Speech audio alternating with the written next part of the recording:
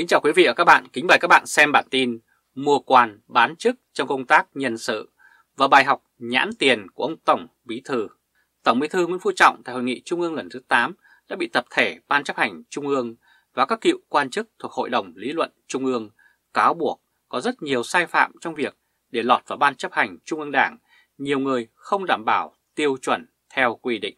Công luận lâu nay cho rằng chưa có bao giờ Đảng Cộng sản Việt Nam và chính quyền của họ lại để ra xảy ra tình trạng cán bộ chạy chức chạy quyền, dùng tiền bạc và vật chất để mà mua ghế.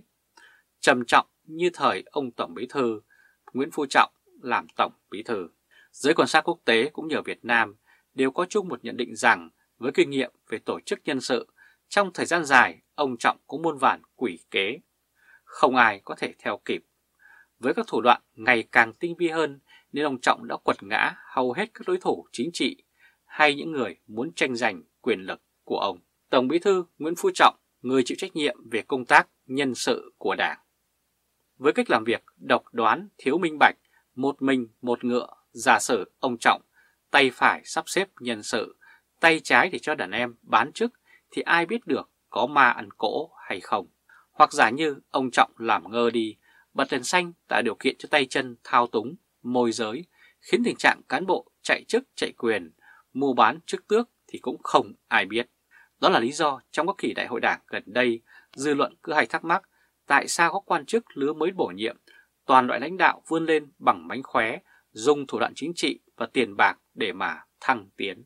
Đa phần đi lên từ cán bộ đoàn, công tác thanh niên, công tác đoàn thể, xong lại biết nhẫn nhục, biết lấy lòng quan trên, rồi học lại tại chức kiếm cái bằng cử nhân, cộng thêm cái bằng lý luận chính trị cấp cao vân vân. Để rồi cứ đến hẹn lại lên, vài ba năm lại nhảy từ cấp xã lên cấp huyện, rồi lên cấp tỉnh. Anh nào tốt số còn được luân chuyển, tót lên tận trung ương, kể cả lọt vào bộ chính trị, cũng chẳng phải là không thể. Nhưng với điều kiện là mỗi nước thang danh vọng muốn có quyền thì phải đi đôi với có tiền để chi để mà mua ghế. Vốn ít thì mua ghế nhỏ, đi với bổng lộc khiêm tốn, gom đôi ba năm, có món kha khá nặng tay, lại mua ghế cao hơn. Bởi quy luật bất thành văn của lũ quan chức thăng tiến ngày nay, tiền nào thì mua ghế ấy. Ghế càng to thì bổng lộc càng nhiều, thì chi lại phải càng lớn. Ông Nguyễn Văn Hùng, Bộ trưởng Bộ Văn hóa, Thể thao và Du lịch Việt Nam, đi bên trong, còn để quốc khách thì đi bên ngoài thảm đỏ. Quy trình nhân sự như vậy, nếu mới sản sinh ra các loại quan chức lãnh đạo, ăn nói lắp bắp hay ngọng níu ngọng nồ, như các Bộ trưởng Nguyễn Mạnh Hùng, Phùng Xuân Nhạ. Điển hình phải kể tới là lãnh đạo lớp cấp như Nguyễn Văn Hùng, Bộ trưởng Bộ Văn hóa, Thể thao và Du lịch. Ông Hùng đã cư xử rất thách lễ khi được Thủ tướng Phạm Minh Chính giao cho đi đón quốc khách là Thủ tướng Malaysia. Nguyễn Văn Hùng làm đến chức Bộ trưởng Bộ Văn hóa, Ủy viên Trung ương Đảng, vậy mà không biết các quy tắc ngoại giao tối thiểu. Thay vì phải đi ngoài để nhường thảm đỏ cho khách, thì phải đi lùi phía sau khách thì ông Hùng lại nghênh ngang đi ngang hàng và lại còn chiếm trệ chiếm giữa thảm đỏ để quốc khách phải đi bên ngoài đường. Bí thư tỉnh ủy Bến Tre Lê Đức Thọ Đó là những ví dụ chua chát về chất lượng nhân sự lãnh đạo, những sản phẩm trực tiếp do ông Tổng Bí thư Nguyễn Phú Trọng tạo ra. Đó cũng là lý do vì sao dưới thời ông Tổng Bí thư Nguyễn Phú Trọng, nội bộ Đảng Cộng sản Việt Nam diễn ra tình trạng đấu đá tranh giành quyền lực triển miên. Bởi ghế được mua hoặc được thỏa thuận đổi trác nên càng cao thì giới lãnh đạo mới cảm thấy an toàn. Cho nên bằng mọi giá họ cũng phải leo lên thật cao, chui vào thật sâu. Nếu không để xa cơ lỡ bước, phải rời ghế thì sẽ bị phía đối thủ làm thịt ngay.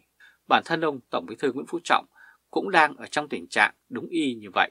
Đây chính là cái hệ quả cho việc chọn lọc nhân sự do mua quan bán chức là chủ yếu. Nay điều đó đã trở thành bài học nhãn tiền Ông Trọng cũng muốn rời ghế, muốn về hưu, muốn thành người tử tế cũng không thể được nữa. Trong ba nhiệm kỳ làm Tổng Bí Thư, ông đã gây thủ chuốc oán quá nhiều. Nên bây giờ nếu ông Trọng nhấc đít lên là kẻ thù sẽ dìm ông xuống bùn đen ngay lập tức. Chúng ta hãy cùng chờ xem. Quý vị và các bạn vừa theo dõi chương trình truyền hình trực tiếp của Thời báo.d với bản tin Mua quan bán chức trong công tác nhân sự và bài học nhãn tiền của ông Tổng Bí Thư. Hội nghị Trung ương 8 Vì sao Bắc Kinh muốn lôi cổ Nguyễn Phú Trọng ra khỏi ghế Tổng Bí Thư Hội nghị Trung ương 8 khóa 13 từ ngày 2 đến 8 tháng 10 diễn ra trong bối cảnh quan hệ giữa Việt Nam và Hoa Kỳ được nâng lên một tầm cao mới, ngang bằng quan hệ giữa Việt Nam với Trung Quốc và Liên bang Nga. Điều đó khiến cho ban lãnh đạo Bắc Kinh hết sức cay cú, và đó cũng là lý do vì sao khi Tập Cận Bình nhận lời mời sang thăm Việt Nam tới đây, đã đưa ra điều kiện Việt Nam cũng phải nâng cấp bang giao Trung Việt lên tầm cao mới. Nghĩa là phải cao hơn mối quan hệ giữa Việt Nam và Hoa Kỳ, dù mối quan hệ này đã ở mức cao nhất.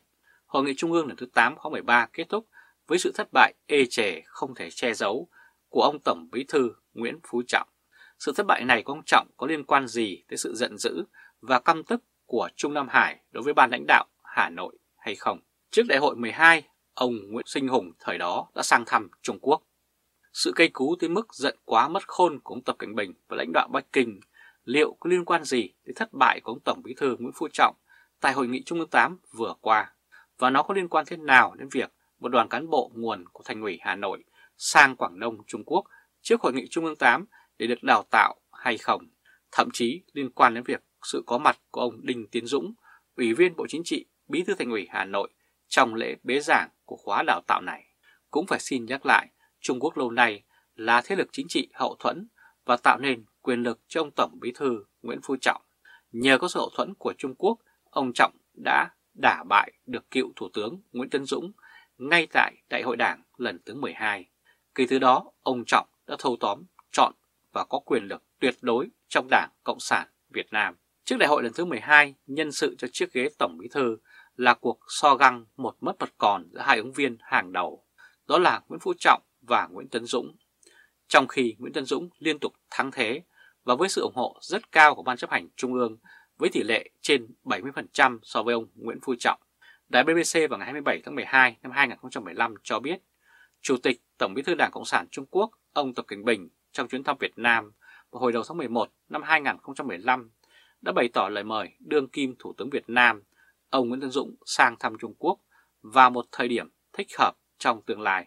Chủ tịch Quốc hội ông Nguyễn Xuân Hùng khi đó và Chủ tịch ông Nhân Nhân đại Trung Quốc Trương Đức Giang tại lễ đón và hội đàm vào ngày 25 tháng 12 năm 2015. Lúc đó, nhà nghiên cứu Dương Danh Di nhận định với BBC rằng cá nhân tôi với sự hiểu biết của tôi thì tôi cho rằng ông Nguyễn Tân Dũng khá chắc rồi. Cho nên khi mời ông Dũng đi, tức là phía Trung Quốc đã bỏ phiếu Tổng Bí Thư cho ông Dũng đấy. Vậy mà ông Trọng đã lật kèo ở phút cuối.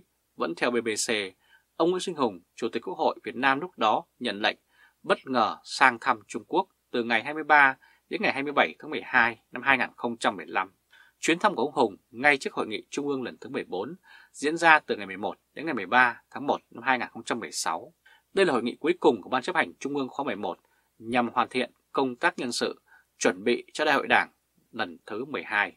Bình luận về thực chất chuyến thăm Trung Quốc của ông Nguyễn Sinh Hùng khi đó, tờ báo Nikkei Asia vào ngày 27 tháng 12 năm 2015 đồng quan điểm với BBC khẳng định có liên quan đến vấn đề nhân sự của đại hội lần thứ 12. Chủ tịch Tập Cận Bình và Tổng Bí thư Nguyễn Phú Trọng tại Bắc Kinh vào tháng 11 năm 2022.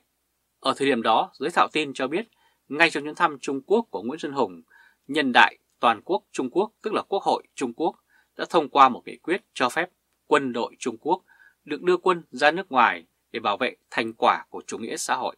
Nghĩa là Trung Quốc bóng gió sẽ đưa quân đội đến Việt Nam.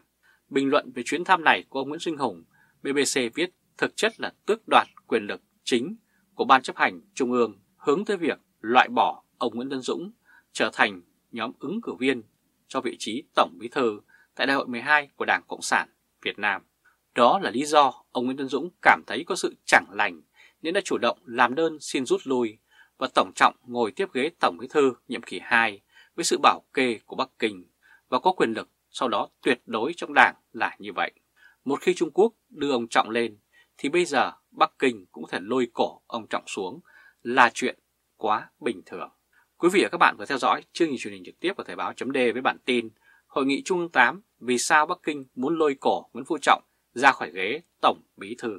Quý vị và các bạn hãy chia sẻ video này cho nhiều người biết và bấm nút theo dõi YouTube và Facebook của Thời báo chấm để luôn được cập nhật những bản tin mới nhất, nhanh nhất và trung thực nhất. Từ Berlin, Cộng hòa Liên bang Đức chào các bạn. Hẹn gặp lại các bạn ở bản tin lần tới. Trung Khoa Thời báo chấm